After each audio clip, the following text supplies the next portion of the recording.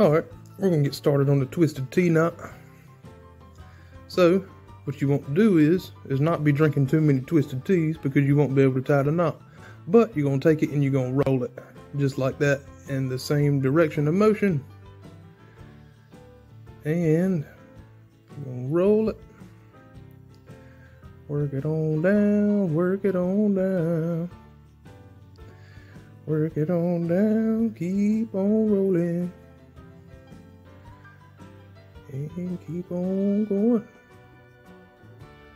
Alright. Once you got your twist, hold this right here. and put one overhand knot. We'll bring that on back to where the twist started at. So there you go. You got your twists all right there. That could have been a little bit tighter, but you get the picture. So, we're going to take our two ends of our main line and we are going to twist these up right here in the middle.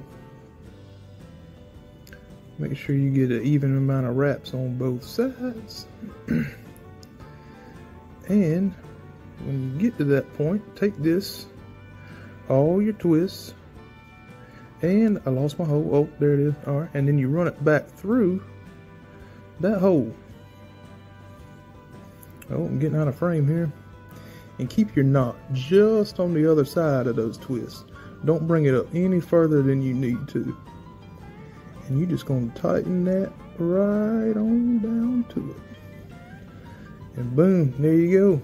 You got your twisted T-knot.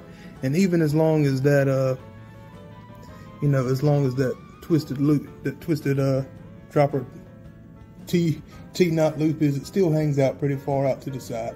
So there y'all go. Have a good one.